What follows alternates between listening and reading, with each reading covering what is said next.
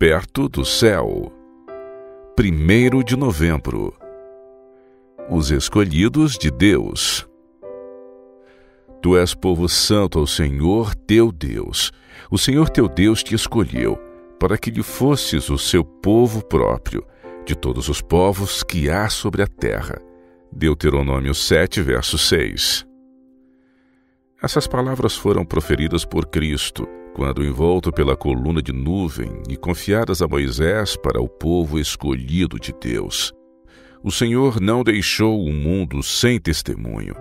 Ele tem um povo escolhido e leal. Esse povo não faz deste mundo o seu lar, mas está aqui para testemunhar de Deus. Enquanto a porta da graça estiver aberta, esses mensageiros fiéis apresentarão um testemunho vivo.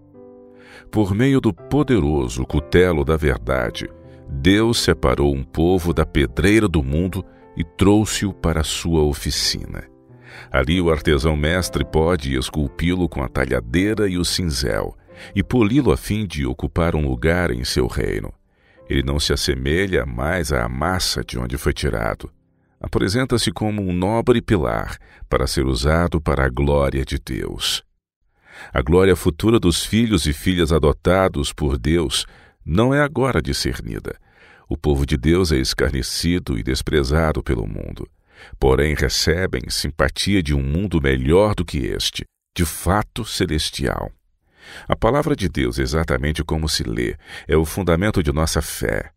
Essa é a palavra infalível da profecia, que exige fé sem reservas de todos os que afirmam nela crer é fidedigna, contendo em si a prova de sua origem divina. Quem somos nós que afirmamos ser um com Cristo? Nós somos cooperadores de Deus.